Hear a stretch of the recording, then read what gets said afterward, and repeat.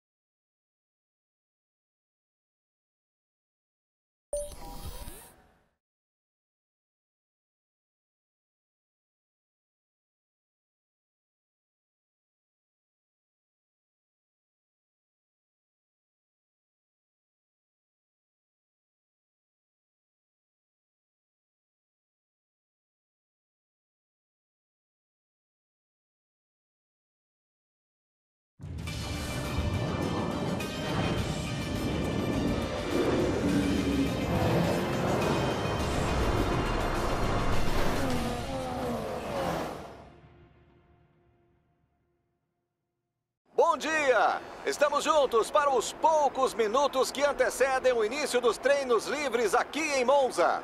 As equipes estão trabalhando como loucas nos carros, fazendo os últimos acertos para entrarem na pista. Uma das curvas mais famosas aqui em Monza é a variante del Ritifilo.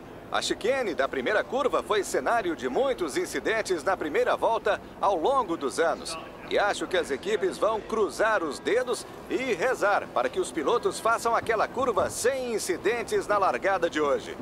É uma curva onde é difícil de encontrar o ponto de freada certo. A aproximação é feita a mais de 335 km por hora depois da reta principal.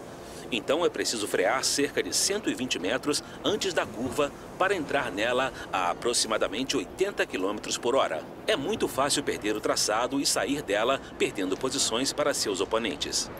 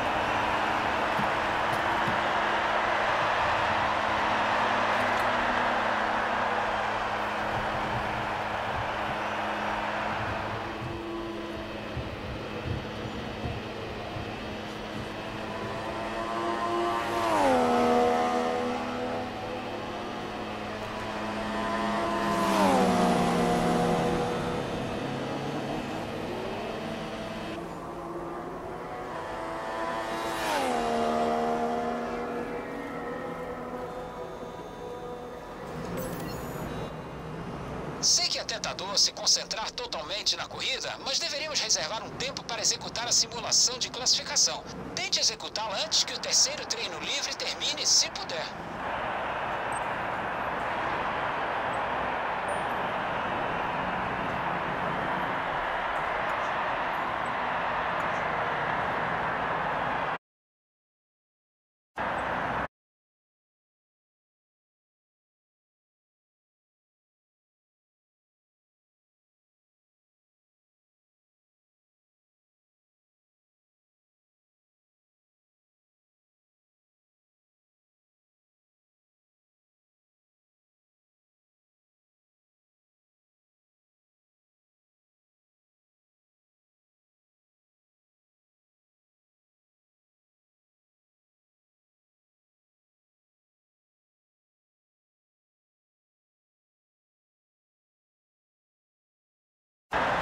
Agora que todos os carros cruzaram a linha de chegada, confira de novo os três primeiros. Uma Williams, Vettel e Lewis Hamilton.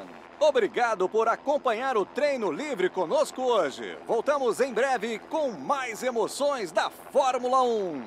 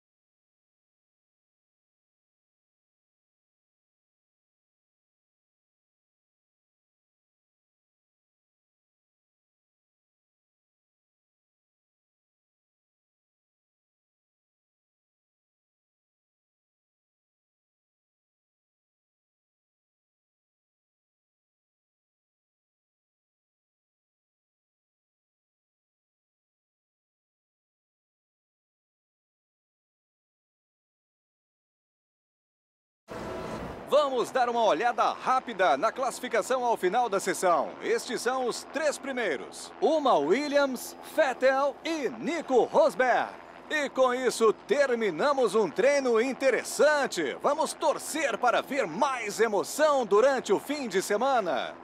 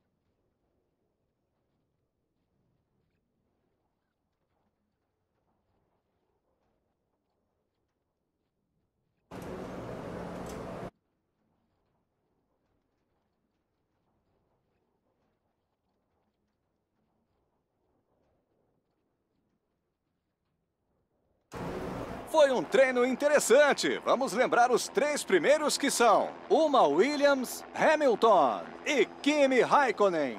Vamos ver como as equipes vão aproveitar os tempos deste treino para trabalhar durante o fim de semana.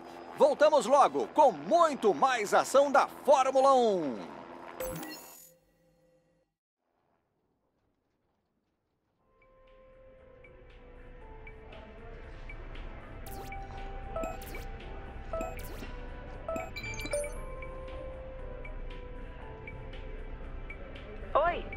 Vim avisar que recebemos as expectativas da equipe para o próximo treino de classificação.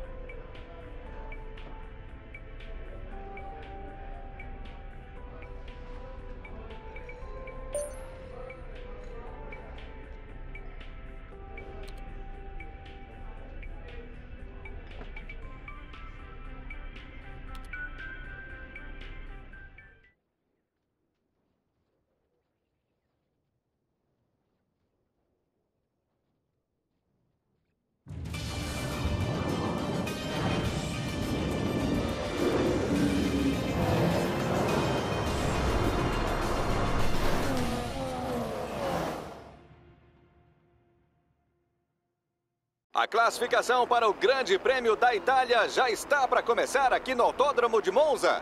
As equipes devem ir para a pista a qualquer momento.